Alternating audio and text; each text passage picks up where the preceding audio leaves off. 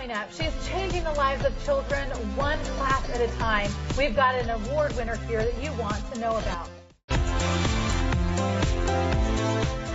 One of the favorite parts about Idaho Living is celebrating people that are making a difference in our community. That's why I'm very excited and honored that we have one of those amazing women with us today. We have got a teacher from Garfield Elementary, Sonia Galaviz. You just won the Indeeds Award, so tell us about that. Yeah, it was a, it's a great honor from the STEM Action Center of Idaho, and the award stands for Industry's Excellent Educators Dedicated to STEM. So that's oh, yeah. a mouthful. Mouthful, yeah. yeah. Sounds very important and special, well, right? Thank you. that is so exciting. So what did you have to do to get this award?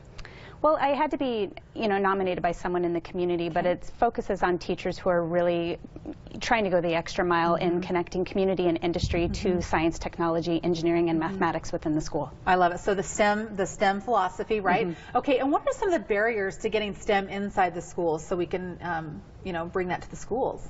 I think some significant barriers are still access and opportunity in different okay. schools. So not every school has robotics clubs or has, you know, um, science teams after school. So it's really important that we are finding those resources and partnering with industry and community members that we might be able to bring that experience to every child, no matter mm -hmm. what the zip code. And that's so important, isn't it? Absolutely. So um, tell us, how do we get involved? And if we, if you need our help, if teachers need our help, if Idaho needs our help, how do we get involved? What do we need to do?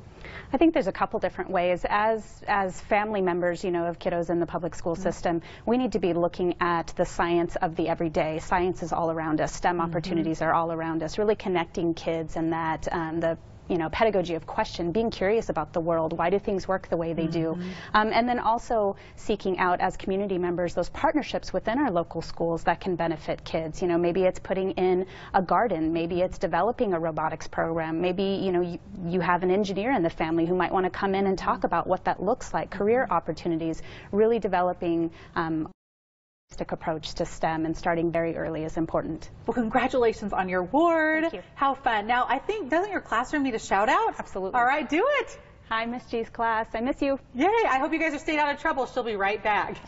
Thank you, Sonia, and again, congratulations. Thank you.